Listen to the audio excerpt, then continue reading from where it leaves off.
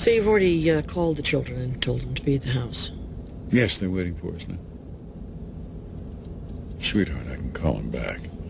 I can tell them you're too tired from the trip if you're not. No, no, no. This this this issue's been in the closet long enough. This was a big emotional ordeal for you, confronting your mother.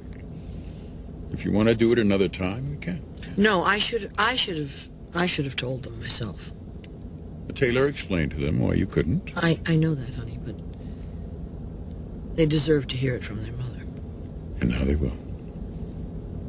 I'll be right beside you.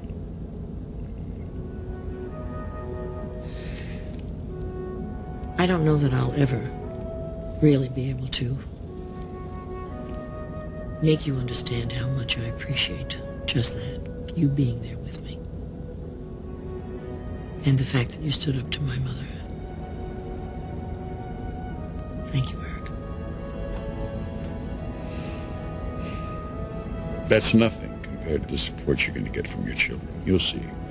Everything's going to be fine.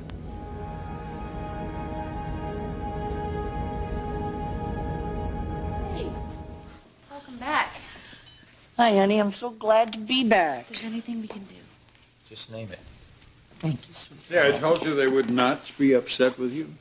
Oh, what are we going to be upset with her for? Because I didn't tell you. Taylor explained that, Mom. You had to go to Chicago to confront your mother. We understand all that, Mother. Yeah, I know. It's just, uh, I think what I'm upset about is that I, well, I just kind of let you think I had this incredible childhood, and I just pushed all of that ugliness out of my mind, and as a result, I pushed my mother out of my life and out of yours. Are you kidding? If you think we wanted anything to do with that woman after the way she treated you, forget it. Growing up the way I did damaged me, and, and the truth is, you all paid the price.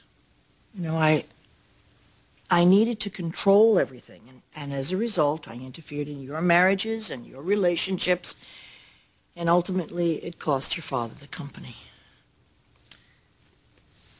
I'm not making excuses. I want you to know that. But I also want you to. It's just such an enormous sense of relief to understand why. And I just want you and you and you to understand too, okay? If you think this justifies that 11 o'clock curfew you gave me when I was 16, I'm not buying it, lady. Well, at least now we know why you've been so protective. We're very grateful for that, believe it or not. Oh. I wouldn't go that far. but I am so damn proud to have you for my mother. Oh, sweetheart. Thank you. Yeah, we love you, Mom. Thank you, sweetheart. We wouldn't change that for anything.